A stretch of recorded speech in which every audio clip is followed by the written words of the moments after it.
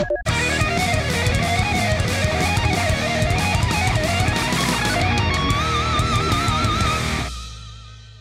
is the crack YouTubes? Welcome to week two's update of the Big Meks building competition. Uh, I'm building along with you guys and what I've got so far is just a bare mock-up. So what we'll do is we'll look at what I've been up to or my lack of progress and then we'll have a look at the entries so far. So what I've been up to is mostly mucking around. I still have the engine block for I'm building a grot tank so I'm thinking I'll mount it in the back sideways, something like that, eventually. I'm just messing around with Blu Tack and dice. I'm a bit undecided about what I want to do, but I'll have the turret. This will be the turret ring here, and I'll build a turret up above it here, and this is like the front of glacis and stuff like that. I've been mucking around with some tools I bought a while ago. So I've been trying to cut out all these little tiny circles with a circle cutter that I bought in a hobby store in Paris, I think. Uh, I think it's for papercraft or whatever, but it's pretty handy. This thing's pretty cool. It's got a blade on one part, and it's a it's like a compass type thing. So it's pretty that's pretty handy. Between this circular cutter and then the tube cutter, I'll be making the running gear. So I'll get like two discs, and I'll put like piece of pipe in between, and I'll make the the running gear. But that's gonna take an awful lot of time because it'll take a few of them. But in general, at this stage, I'm just trying to get a rough shape. I want to have something that looks a bit like a KV-1 tank, if you've ever seen it, um, or a KV-2. Just a grot version with a big, chunky engine sticking out the back. So that's my plan so far. And what we'll do is we'll have a look at the entries now that people have thrown in currently. And so first up, we have Castman and his build for his Rebel Grots. Looks like he's, he's building a a logo for his Rebel Grots. So this is Castman's build, his entry for the competition. I do believe he's finished up on the project. I, I could be incorrect, but it's nice use of some parts. There are some original parts in there, nice conversion. Like I've said before, Gorka Morka vehicles are welcome into the competition build. Next up we have Clarkson. Clarkson has gotten himself a Taurox and he's converted it pretty much. So we've got all manner of gubbins and bits and gizmos. The wheels have been changed. Exhaust sticking out of everywhere. And a nice big cannon on the back. So that's Clarkson's entry into the competition. Nice, nice, nice kit bash he's got going there. Next up we have Gar. Gar has kit bashed and scratch built, so you can see he's used um, the battle wagon rear tracks. He's got a, the artillery piece sticking up on the back. I like Gar's concept for this build, as it uh, it could it could be a grot tank because it's like sort of self uh, propelled artillery, but you could also probably use it as a one of the big mech guns, one of the artillery pieces, and just say that it's tracked. So I like I like this concept. Gar's done some kick ass work, and he's even managed to get a bit of paint onto the miniature Gar does some nice painting. Like I've said before, guys, this is a building competition. You do not have to paint it. But it does look pretty sweet. Next up, we have Gorkales. He's built a buggy with some super engines on it. It is pretty slick looking.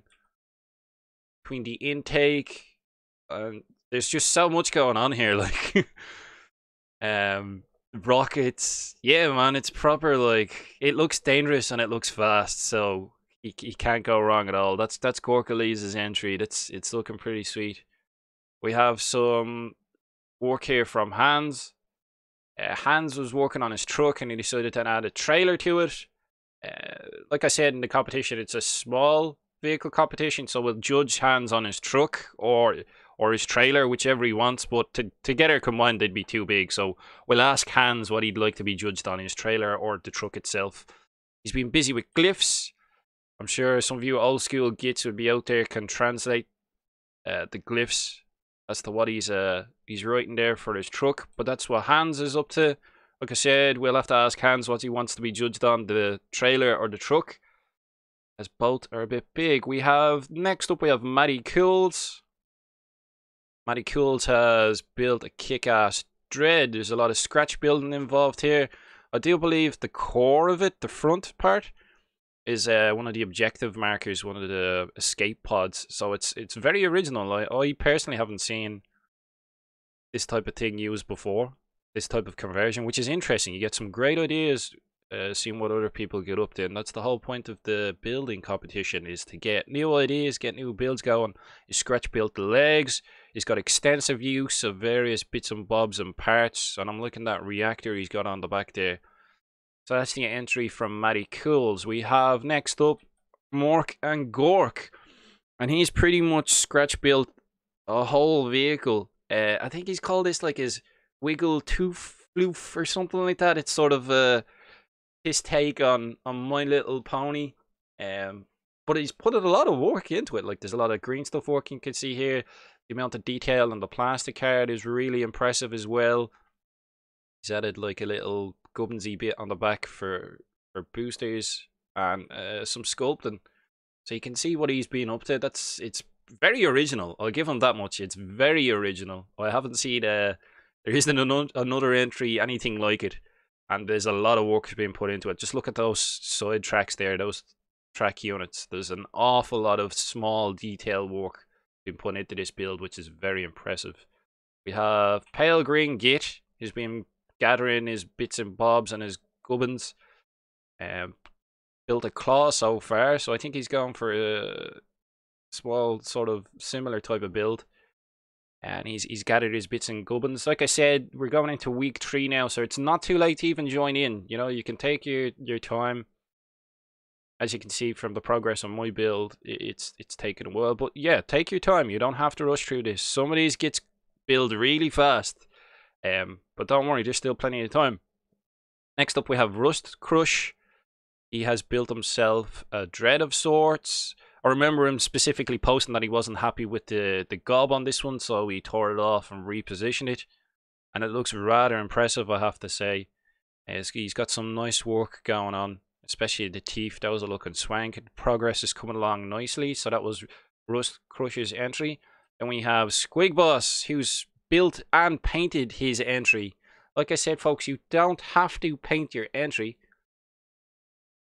but there's nothing, you know what I mean? There's no, there's no problem with doing it. It would be based on his uh, building. I do have other pics of his progress. I just didn't grab them at this moment in time. But that's Rust or uh, Squig Boss. My my apologies. So many entries. This is a Squig Boss's uh, entry into the building competition. It looks pretty swank, I have to say. I'm liking the armored slits, the radiator intake, and also the cab that he's got there. Some very original builds going on. A lot of concepts and ideas. And then the last update for this week, we have the War Boss. This has also been painted up. Really, you get work so goddamn quick. Put me to shame here. It's a nice build he's got going on. I like the use of his um, turret that he's got on the top of the vehicle. The uh, Gorkanaut slash Morkanaut head uh, with a las cannon jabbed in the back of it and a faceplate. It looks, yeah, it looks pretty swank. It's a, it's a really good build. Like I said, nice paint job, but you do not have to paint up the miniatures. It is a building competition. My apologies if I've missed your entry so far. Uh, feel free to give me a shout in the YouTube comments. There will be an update on week 3. It is still not too late to enter, guys. So like I was saying, it's still not too late to enter. There's going to be a link in the description of this video below to the Discord group where there is the Big Mek build off thread. So if you're entering into the competition, throw your entries into that thread.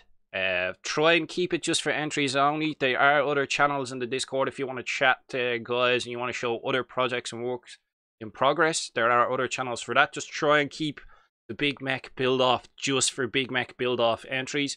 But there's other guys in there. We've got a solid group of people now and it keeps growing every day. Um, throwing ideas around, inspiration, chatting away. And uh, yeah, I'm looking forward to, to week three. There's quite a quite a few entries. I think we're up to like eleven or twelve, and it keeps counting. So it'll definitely be very interesting to see what the the end of the Big Mek build competition is, and then hopefully we'll steamroll it into something bigger in the next building competition. So that's week two's update. Sorry about the delay. Uh, and I'll probably see you in the week three update. So it's not too late to join. Links are in the description below and uh, I will throw up a link to Stevo's build. He's got um he's got a video he's put up. He's not entering into the competition itself because you know we're we're buds. There might be some shenanigans there that people would be wary of if he did win. But his build is really good. So I'll throw up um, a card so you can link to his video if you want to have a look at his entry. He's put a video up for his Deff Dread, which is looking really swank. Nice kit bash he's got going on there. And if I've missed your entry, give me a shout in the comments below or give me a shout in the Discord and we'll put you into the week three. There's still plenty of time to get building, guys. Still plenty of time to buy your bits and bobs. Remember, we still have the discount code with Foxbox up until the end of the competition. If you use discount code SKARNIR for any of the Foxbox brand parts, you'll get the 10% discount. So, we'll see you in week three. Thanks for, uh, like, I just want to say thanks to everyone so far. It's it's crazy the amount of entries, the inspiration. This is exactly what I wanted out of this build competition. I wanted to see people being creative and it's it's working amazingly. I'm inspired to build stuff. I'm sure other people are getting inspired to build stuff. And we'll see who the winner is at the end. So it's not too late to enter. We're gonna be posting up week three soon enough. And get building. Grab your gubbins, buy some bits. We'll see you in the next one. Take it easy.